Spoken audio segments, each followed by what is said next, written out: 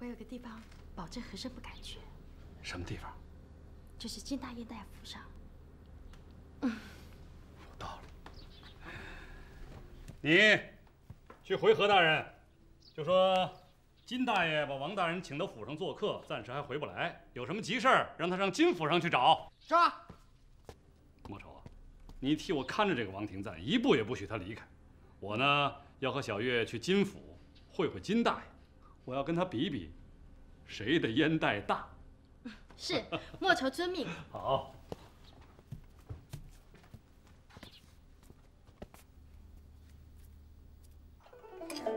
哎，金大爷，今天您的烟袋怎么小了一圈啊？啊？啊，这，哎呀，我看人家这季大烟袋来了，所以啊，我就连夜让人给我打一个小一点的，免得人家说我班门弄斧啊！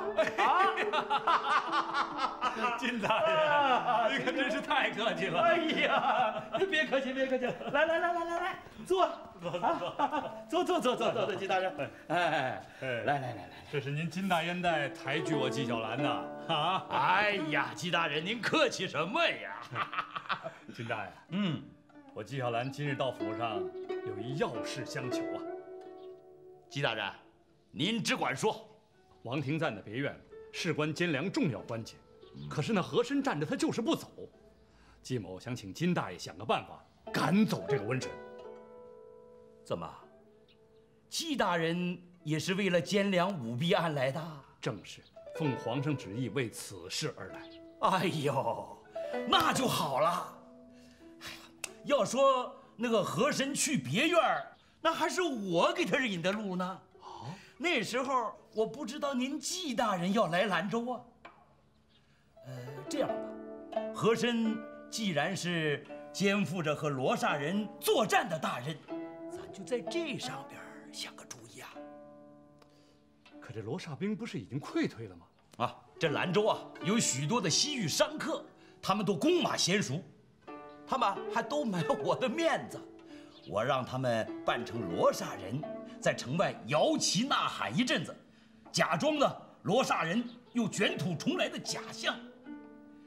到那时候，不怕和珅这小子不返回大营吧？纪大人，您看这个主意如何呀？我看此计不错，那就有劳金大爷了。啊，哎，纪大人，嗯，哎，我这里有来自海外。大不列颠国的上好烟丝哦，哎，季大人，您还不来一锅？呃，不，我得来三锅。哎呦你！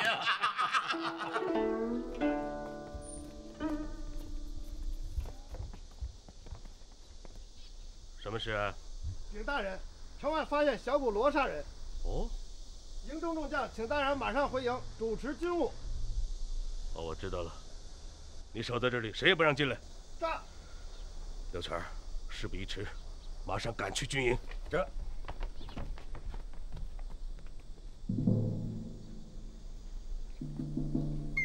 你刚才说有小股罗刹人？是。这罗刹人已经被打散了，一小股人竟敢到城下来撒野？我问你，这些罗山人可曾杀人放火？并未杀人放火，只是摇旗呐喊。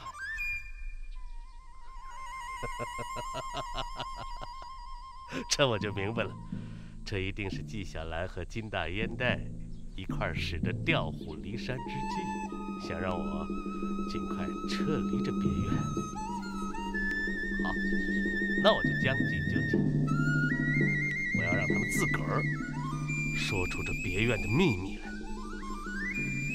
刘全。我们还是赶回大营，要跑得快一点，啊！这要做出一副慌乱的样子。走，快点，快快点，快点，快点！脚步。季先生，和尚上当了。对呀，现在该看咱们的了。嗯，走走。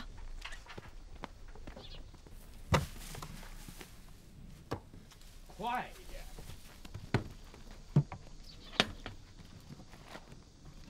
进来。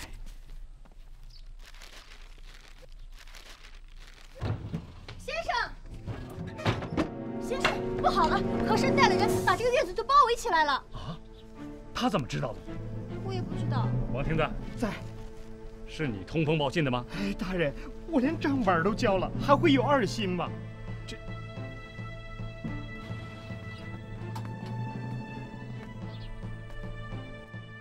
哟，何大人。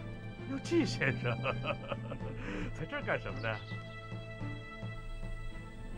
挖宝呢？这样的好事怎么不事先告诉我一声？都挖出什么来了？这是什么呀？账册。我知道是账册。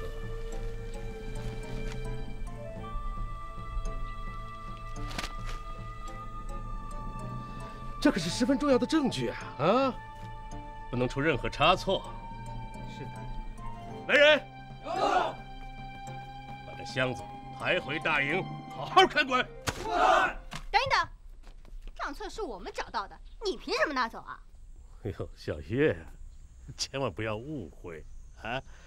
呃，你不知道，眼下兰州地面很乱，这么重要的东西，只有放在军营里才更安全嘛！啊，咱们都是为皇上办事，哎何必分那么清楚呢？嗯，是不是啊，季先生？何大人言之有理。是啊，咱们同是为皇上办事，何必要分那么清楚呢？不过季某怀揣皇上的密旨，这个风险我可担当不起。这件事儿啊。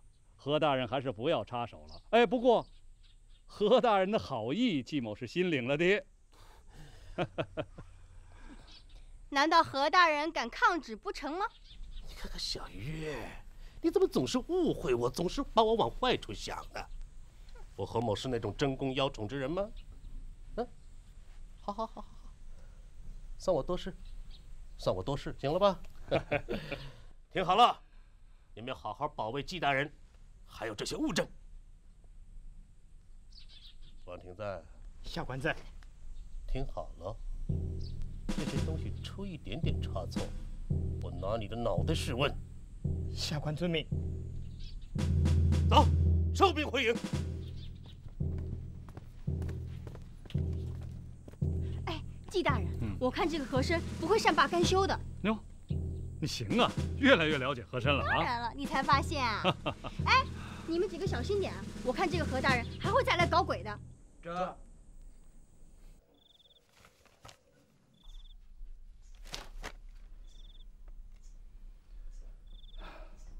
王廷在，下官在。你这所有的账本我都看了，没有一条涉及到王胆旺。我看这账本是你伪造的吧？下官不敢。哼，你放聪明点。这件事，皇上已经下旨要彻查。你替他包着，帮不了他什么忙。叫我看呢，他现在大概已经进了杭州的大牢了。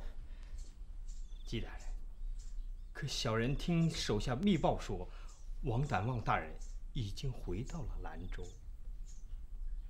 什么？你这可是实情？